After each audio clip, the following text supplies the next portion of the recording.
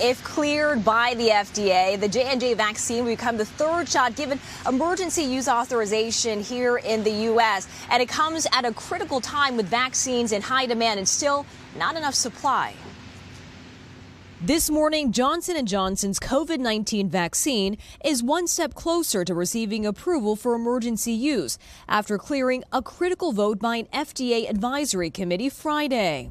We need to get this vaccine out I do believe that the evidence supports its safety and effectiveness. While Pfizer and Moderna may be more effective at preventing illness, J&J's one-shot vaccine offers strong protection against new variants and is 100% effective at preventing hospitalization and death.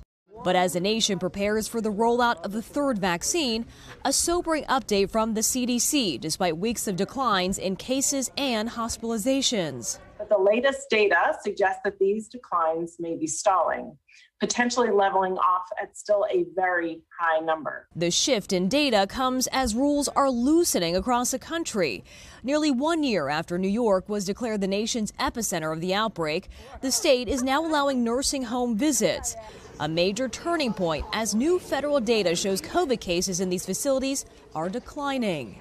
And according to the American Healthcare Association, vaccinated nursing homes saw a bigger drop in infections compared to those that were not vaccinated. In hard hit California, the roadmap to reopening includes setting aside roughly 75,000 doses a week for teachers and school employees.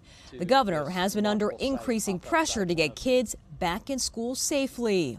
We know teachers want to be in front of their students and we know that students want to be in front of their teachers. My hope is that we can make it happen. Working toward coming together after so many months apart.